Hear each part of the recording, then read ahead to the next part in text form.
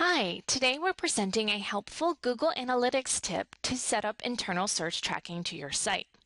The first step is to identify the search query parameters on your site. To do this, perform an internal search on your website and look at the URL of the search results. The search parameter will be the letter or word before the equal sign. In this example, we're on topspotims.com.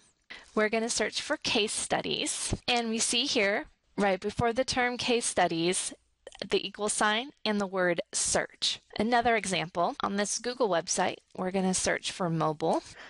And here in the URL, you'll see right before the word mobile is the equal sign and the letter Q. That is the search parameter on this example.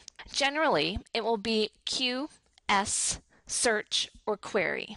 You may also find other search parameters, such as the word term. If you have any questions or problems identifying your site search parameters, please feel free to comment on this video and TopSpot will assist you. Now that we've identified our search parameter, let's log into Google Analytics.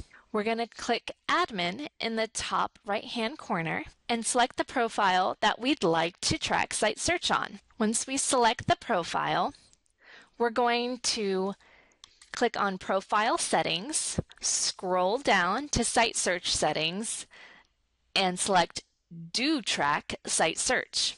Then we'll enter in our query parameters. In this example, we've already have had it set up. You can enter up to five parameters separated by commas. Checking the box Strip Query parameters out of URL will prevent your internal site search from showing up in your content reports. TopSpot does not recommend you select this box. Click Apply and you're finished. This is a simple overview of how to set up and configure internal site search in Google Analytics. If you'd like more information, please contact TopSpot Internet Marketing. Thank you.